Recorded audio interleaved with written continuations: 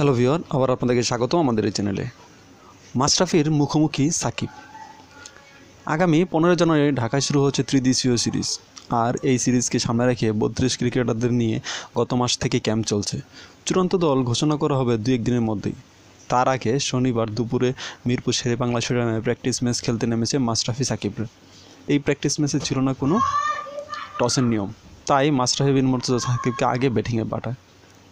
বত্রিশ ক্রিকেটারদেরকে দুই দলে ভাগ করা হয়েছে। এক দলের নাম বিসিবি রেড, অপর দলের নাম বিসিবি গ্রিন। রেড দলের নেতৃত্ব দিবেন সাকিব আল হাসান। অন্যদিকে গ্রিন দলের অধিনায়ক মাশরাফি বিন মুর্তজা। মাশরাফির দলে রয়েছে ইমরুল কায়েস, সৌম্য সরকার, লিটন দাস, নাসির হোসেন, মেহেদি হাসান মিরাজ, মুস্তাফিজুর রহমানের মতো খেলোয়াড়রা।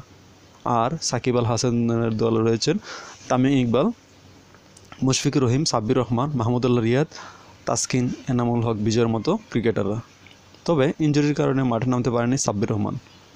শুধু আজকের প্র্যাকটিস ম্যাচ নয়, মনে হয় না তৃতীয় সিরিজেও সে খেলতে পারবে। ধন্যবাদ আমাদের পাশে থাকার জন্য। আমাদের চ্যানেলটিকে সাবস্ক্রাইব করুন এবং আমাদের ভিডিওগুলো লাইকস ও এতে কমেন্টস করুন।